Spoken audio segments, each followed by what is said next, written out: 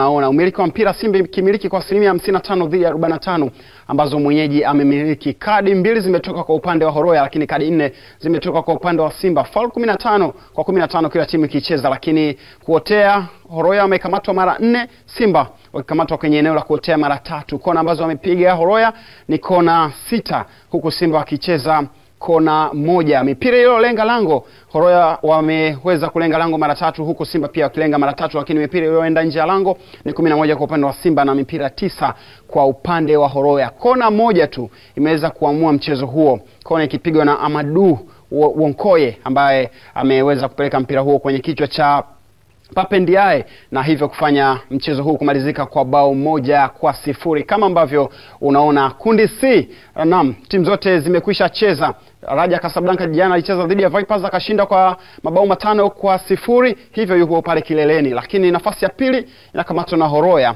ambaye yupo kwenye nafasi hiyo ya pili. Simba kwenye nafasi ya tatu hana alama hata moja, sawa na Vipers. Tofauti zinazoweka kwenye ana, a, eneo hilo ni magoli ya kufungwa, ambapo Simba amefungwa goli moja, Vipers kafungwa magoli matano. Kwenye mechi zijazo za kundi hilo, basi pia utapata kushuhudia nini ambacho kitajiri uh, mwezi huu. Kwenye mechi zijazo tutazidi ku Tazama, Horoya atasafiri tena mpaka pale Kampala kuweza kucheza dhidi ya Vipers kwenye mchezo wa kundi C, na hii itakuwa ni Februari 18 mwaka huu kwenye uwanja wa St Mary. Hivyo Horoya anaelekea tena Kampala kuweza kutafuta alama nyingine tatu kama atazipata ugenini ama la. Simba mwenye atakuwa wapi? Simba atakuwa Benjamin Mkapa kucheza dhidi ya Raja Casablanca kutoka Morocco. Je, atahitaji alama zake tatu kuanzia hapa kwenye hii mechi ya nyumbani ama itahitaji muda gani aweze kukusanya alama tatu? Twende tujue siku hiyo ya tarehe uh, kumi na nane mwezi Februari mwaka huu, tutajua kwenye dimba la Benjamin Mkapa kipi ambacho kitajiri kwenye mchezo kati ya Simba dhidi ya Raja Casablanca. Dua Saidi, wakati huu mchezo unaendelea, uh, ah, zilikuwa nyingi yani, ah, nini, ah, ah, zilikuwa nyingi. Kipi tusifie ubora wa mabadiliko aliyofanya kocha ama tu, tuendelee kulaumu uh, nafasi ambazo washambuliaji wa ama wachezaji wa Simba wamezipata na wameshindwa kuzitumia? Uh, mi naweza kusema ni ubora wa kocha kufanya mabadiliko ambayo hata nilikuwa nikiongea na mwenzangu hapa tukibadilishana mawazo Mm. kusema kulikuwa hakuna tena haja ya kuendelea na kuchezesha midfield watatu wakati timu ishafungwa. Yaani ikiwezekana apungue midfield mmoja wacheze na striker wawili Ndio. na kitu ambacho kipindi cha pili kilipoanza kweli tukakuta kafanya mabadiliko hayo Mm. hayo na umeona katika yale mabadiliko imeisaidia sana Simba kuweza kufika kwenye eneo la maadui kwa mara nyingi. Naweza kusema labda ni utulivu tu ambao ulikosekana, au naweza kusema tena Mungu akutaka tu Simba leo labda wapate Ushindi ya ama ushindi au sare Mm. kwa sababu kuna chance ambazo zilizokuwa zimepatikana ni clear chance Ndiyo. ambayo mpaka unavyosema "Ah, tulikuwa tukisema ah, ah, Eh. kwa sababu hata wewe au yule mtu ambaye yuko nyumbani Mm. kama umeweka ndoo ya maji unaweza ukapiga teke kwa sababu una uhakika kabisa Ile sasa nafasi Boko eh. anafunga Mm. alafu matokeo yake unaona mpira unatoka nje unaona au ile chance nyingine alikuwa amepata Chama Mm. ni chance ambayo Chama tunaomjua sie Chama pale apigi hata siku moja Asingebutua kwa namna ile ambayo amepiga. na ndio maana nikakwambia, yani mimi naweza kusema yani ni mipango ya Mungu ambayo tayari alishaikuwa ameipanga, kwa sababu Chama tunamjua sie hata siku moja pale apigi, na kuna watu wawili tayari walikuwa washajitoa wametengeneza V yani, Mm, alikuwepo Kanuti pamoja na Moses Piri. na, na Moses Piri mm. lakini tu kwa kuwa ni matokeo ya mechi na ile tension tayari ishakuwa kubwa, kila mtu anataka kuscore, kila mtu anataka kuscore, kwa hiyo ndo matokeo yamekuwa hivyo. Goal listen, Naam. Simba wamefanya mabadiliko makubwa mm. ah, hasa baada ya kumtoa Sawadogo, wamemtoa pia uh, Jean Baleke Yes. eh, akatoka akaongezeka Kibu Dennis mm. ameongezeka John Rafael Boko na, na, na, na, na wengine wakaja kuongezeka, lakini tatizo lile lile mara zote huwa tuna tunaliona kwa, kwa kwenye ligi hata hapa kwenye ligi ya NBC huwa tunalishuhudia utumiaji wa nafasi ya dimu ambazo zinapatikana limekuwa ni swala gumu kwenye mashindano haya. Kuna mechi za nyumbani na ugenini. Simba uh, ama Boko leo Chama wanashindwa kutumia zile nafasi adimu ambazo walizipata kwenye uh, ardhi ya ugenini, hivyo mpira ama mechi inaamuliwa kwa kwa Simba kupoteza goli moja kwa sifuri. Mechi zijazo sasa Simba anaenda kucheza mechi ijayo anaenda kucheza na Raja Casablanca. mm. Nafasi hizi zilikuwa ni muhimu sana kwao. Mchezo unaofuata inabidi watumie nguvu kubwa sana kuweza kupata uh, matokeo dhidi ya, ya Raja Casablanca.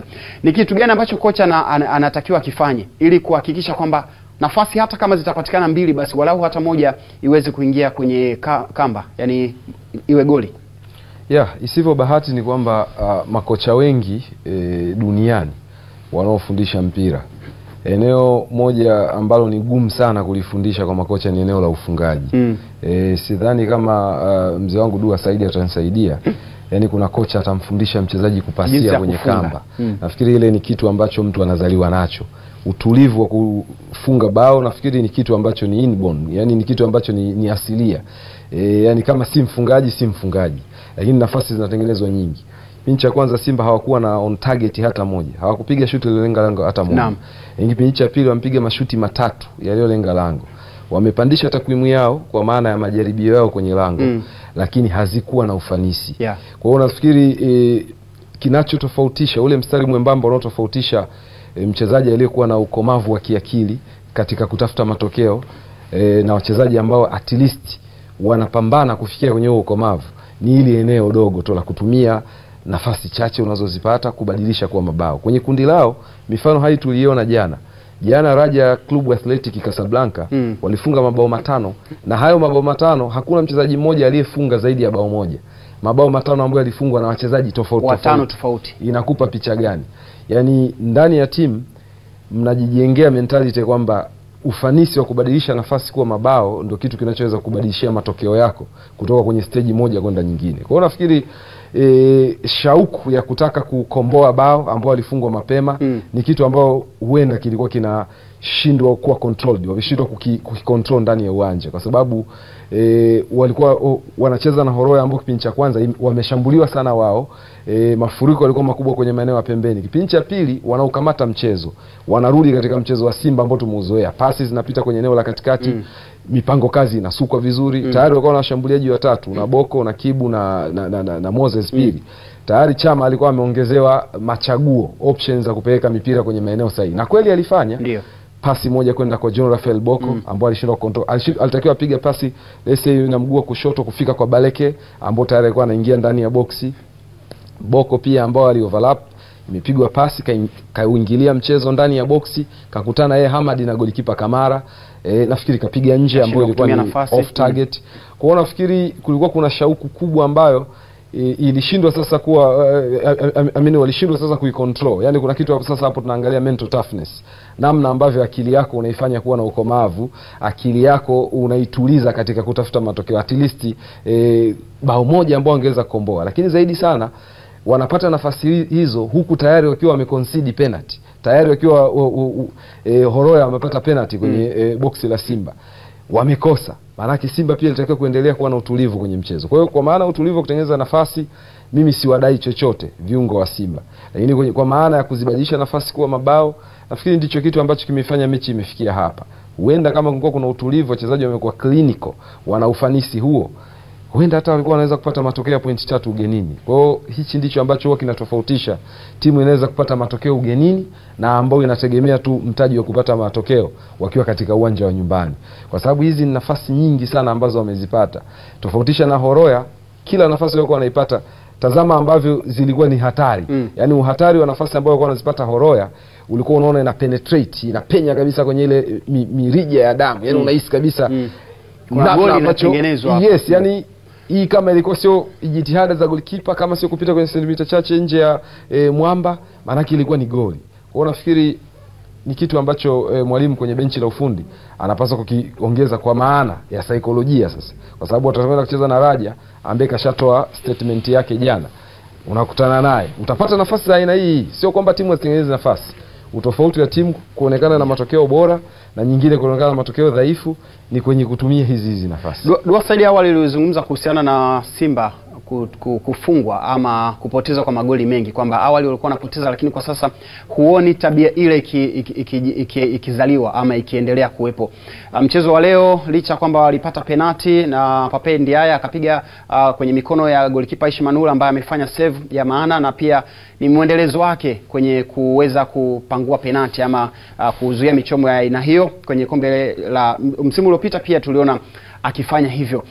Tuki, tuki, tukizungumza upana wa kikosi cha Simba kuna mchezaji ama ange, angekuwepo uh, Saido uh, Ntibazuki ambaye watu wengi sana wameuliza kuhusu, ku- ku- ku- kuhusu uwepo wake uh, kwenye kikosi cha Simba kwenye mashindano haya. Angekuwepo, unaona Simba wangekutana na, na kitu kama hiki ama makosa yake leo hii yangepungua na kuweza kusaidia Simba walau kupata hata bao moja? Ah, naweza kusema kwanza kwa, kwa mechi ya leo Simba mimi sikuona kama wamepoteza sana Mm. na hata pengo la Saido halikuonekana sana, lakini naweza kusema vile vile Saido ni moja ya mchezaji mzuri ambaye ni mzoefu kwa mashindano kama haya. Mtu kama Saido anaweza akafiti sana. Ukimchukulia kama Sako, Sako leo kacheza akajitahidi kwa uwezo wake, lakini mimi naweza kusema kwa leo hakuwepo kidogo kwenye hii game. wakati wakati tunafunga mchezo wa mwisho wanacheza dhidi ya Raja uh, mchezo unaofuata wanacheza dhidi ya Raja Casablanca hapa uh, Benjamin Mkapa. Kitu gani ambacho unakifikiri ama kocha ingie kufanya uh, homework ipi baada ya kushuhudia mchezo huu wa leo dhidi ya Horoya?